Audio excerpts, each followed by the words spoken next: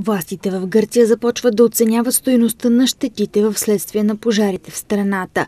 На заседание късно във вторник вечерта правителството на премиера Алексис Ципрас реши да отпусне помощ в размер на 20 милиона евро за пострадалите от опустошителните пожари. Министри и експерти работят по предприемането на първи стъпки по справяне с последиците от огнения ад. Сумата от 20 милиона е стартова и ще покрива най-спешните нужди на гражданите. В някои места, където е бушувал огънят, няма ток и питейна вода. Конкретното участие на държавата за преодоляване на ситуацията ще се реши в близките дни. Междувременно беше отворена и дарителска сметка за частни лица и бизнес компании, които искат да окажат финансово съдействие на пострадалите. Властите призоваха гражданите за даряване на кръв за пострадалите и в рамките на няколко часа на апела се отзоваха стотици. Опашки се извиха пред някои болници в района на бедствието.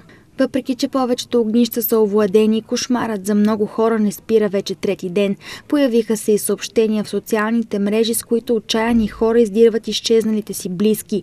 Към момента няма данни колко точно се издирват. На фона на човешката трагедия и обявения тридневен траур, полицията съобщи, че четирима мъже са били арестувани за мародерство. Страните от Европейския съюз продължават да изразяват своята солидарност с гръцкия народ. Министрът на обществения ред Никос Тоскас обяви в сряда сутринта, че Италия изпраща два противопожарни самолета Канадер, а Румъния един самолет, за да помогнат в гасенето на бушуващите пожари. Харватия също е предложила на Атина да изпрати два самолета амфибия. Тоска заяви, че никога преди не е имало толкова много предложения за помощ и благодари за съпричастността на другите държави от общността.